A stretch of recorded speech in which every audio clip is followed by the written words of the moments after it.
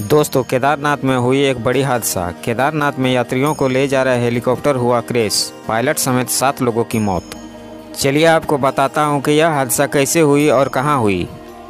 कहा जा रहा है कि गुप्त काशी से केदारनाथ उड़ान के दौरान यह हादसा हुआ है। आशंका जताई जा रही है कि गुप्त काशी से केदारनाथ घाटी की तरफ़ बढ़ने के दौरान यह हादसा हुआ होगा।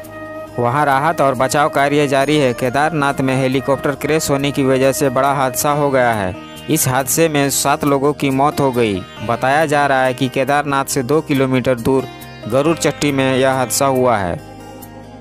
आपको बता दें कि दो दिन बाद प्रधानमंत्री नरेंद्र मोदी केदारनाथ और बद्रीनाथ के दौरे पर जाएँगे। उत्तराखंड के मुख्यमंत्री पुष्कर सिंह धामी ने इस हादसे पर खेद जताया है। उन्होंने कहा है कि केदारनाथ के समीप गरुड़ चट्टी में दुर्भाग्यपूर्ण हेलीकॉप्टर क्रैश में कई लोगों की हताहत होने का अत्यंत दुखद समाचार प्राप्त हुआ है। राहत और बचाव कार्य हेतु एसडीआरएफ और जिला प्रशासन की टीम वहाँ राहत एवं बचाव कार्य के लिए पहुँची है। इधर नागरिक एवं उड़ान मंत्री ज्योतिरादित्य सिंधिया ने भी ट्वीट कर इस हादसे पर दुख जताया है।